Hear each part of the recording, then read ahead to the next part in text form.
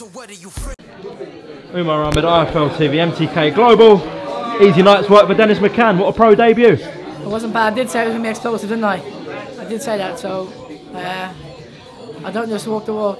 I don't just talk the talk, I walk the walk as well, you know what I mean? So, First round knockout job. Uh, did you expect that?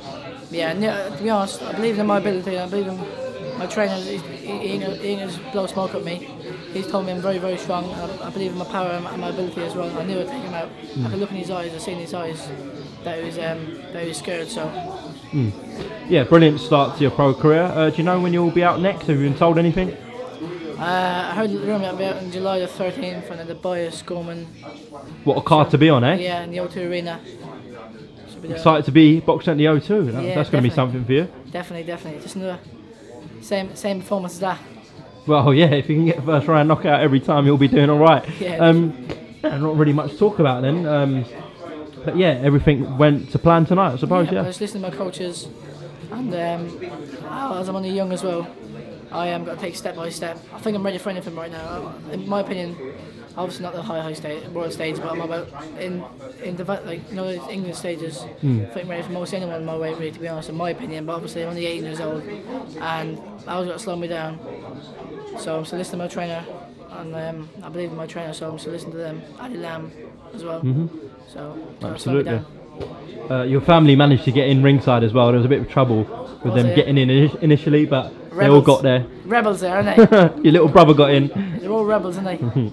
they always they, they remind me of me back in the day. I get in everywhere. I get where dust wouldn't. Listen, Dennis, well done tonight. Uh, we'll definitely catch up before uh, Dubois Gorman, where you appear on the undercard, and uh, enjoy the rest of the night. You're going to watch uh, Billy Joe? Stay down for that. definitely, watch Billy Joe. I'm going to shout out my sponsors Yeah.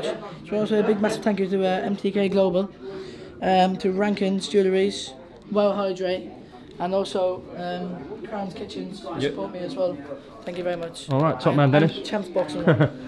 Well remembered. All right, well done, and uh, Thank you we'll very catch, much. catch up soon. Nice one, mate.